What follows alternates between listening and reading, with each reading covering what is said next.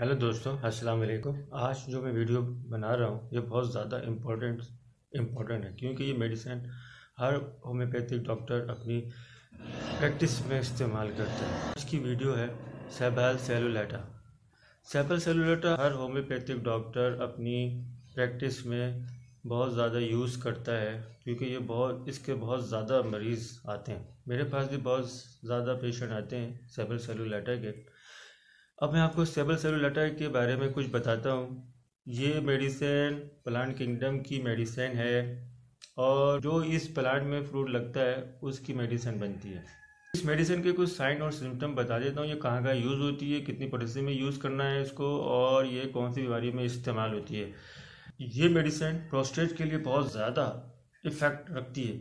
ये ये प्रोस्टेज को नॉर्मल करती है। अगर प्रोस्टेज की वजह से पेशाब की नली दब गई है, अगर इसमें सूजन है और इस सूजन की वजह से पेशाब की नली दब गई है और आपको पेशाब करने में कोई मसला आ रहा है और बार बार पेशाब लग रहा है और रात में बहुत ज़्यादा हालत ख़राब है, क्योंकि बार बार पेशाब आता है और उसकी वजह से नींद बहुत ज़्यादा ख़राब होती है। पेशाब के में जलन है और वाइट डिस्चार्ज भी हो रहा है। ये प्रोस्टेट के इन्फेक्शन को ठीक करती है। साइन है, ये प्रोस्टेट के सूजन की वजह से ये सिम्टम सामने आता है।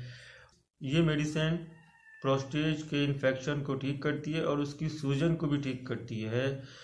ये मेडिसिन और चाइटिक के केस में भी बहुत अच्छा काम करती है। सेवर सेलुलाटा मर्दों के लिए बहुत ही अच्छा असर रखती है। ये मेडिसिन मर्दों को हर तरह की कमज़ोरी से बचाती है।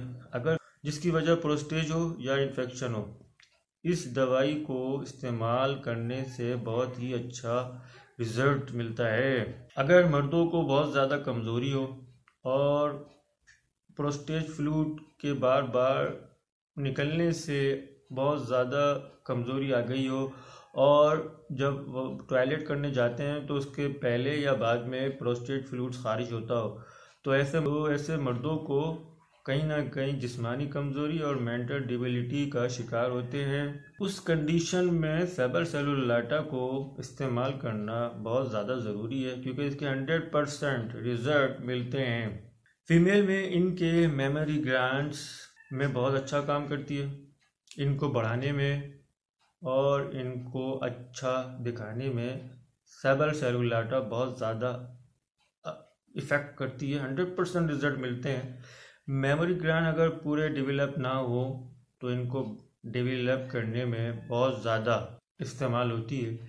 सेबल सेलुलेटा को, यानी सेबल सेलुलेटा सिक्स सी में इस्तेमाल करें मेमोरी ग्रैंड को डेवलप करने के केस में।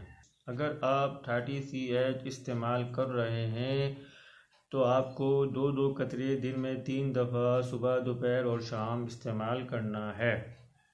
और प्रोस्टेज में और यूटीआई में सेबर सोलिएटर को क्यू में इस्तेमाल करनी चाहिए। दिन में तीन दफ़ा बीस बीस बूंदे इन्फेक्शन हो। अगर प्रोस्टेज में इन्फेक्शन हो और यूटीआई का भी मसला बहुत ज़्यादा हो तो ये प्रोस्टेज के इन्फेक्शन को और यूटीआई के इन्फेक्शन को बहुत ज़्यादा फ़ायदा पहुंचाती है। हंड्रेड परसेंट रिज़ल्ट मिलते हैं। यानी हर डॉक्टर इसको यूटीआई और प्रोस्टेज के इन्फेक्शन में बहुत ज़्यादा इस्तेमाल करता है, क्योंकि इसको हंड्रेड परसेंट रिज़ल्ट मिलते हैं। तो और सेबल सेलुलाटा से अच्छी और कोई दवा होम्योपैथिक हिस्ट्री में कोई अच्छी ये दवा को तकरीबन प्रोस्टेज इन्फेक्शन और यूटीआई के केस में एक महीना इस्तेमाल करना है। बीएचपी और गैस के मसला हो। अगर बीएचपी के साथ गैस का मसला हो तो थर्टी पोटेंसी में इस्तेमाल करें।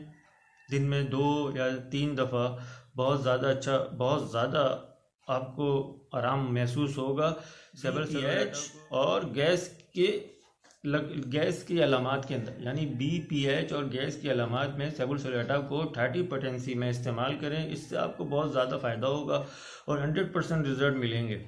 मेरी ग्लैंड के अंदर मैं आप जैसे आपको बता चुका हूँ मेरी ग्लैंड का अगर जिस फीमेल्स का डेवलप ना हुआ हो और वो सेबल सोलेटा इस्तेमाल करना चाहती हैं तो उनको सिक्स सी एच पोटेंसी में इस्तेमाल करें। दिन में तीन दफ़ा दस दस करते पानी के साथ तो उनके, उनको बहुत ज़्यादा फ़ायदा होगा।